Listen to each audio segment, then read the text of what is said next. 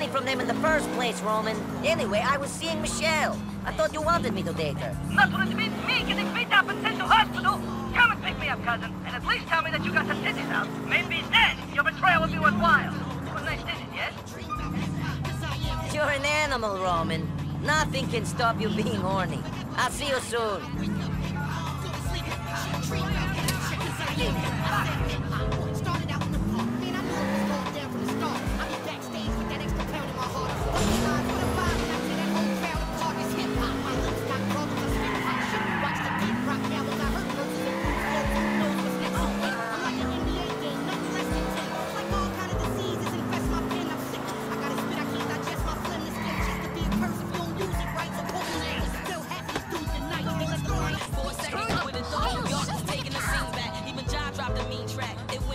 New York, the first city to have heads to fiend for crack. Now I hear about us who's a blood, who's a crip. Religious leaders only teach half of the truth and shit. There is the man who chose Cooch before his cousin.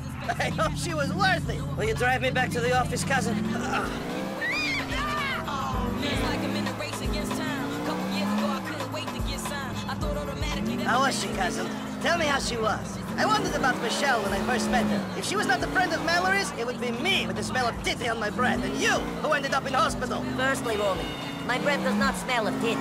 Secondly, I don't think that your loan shark friends could hospitalize me. I can look after myself. All the more reason why I should have hooked up with Michelle. Everyone would be a winner. Yes, well, I will not let these men treat you like that again. I'm sorry for letting you down, Roman.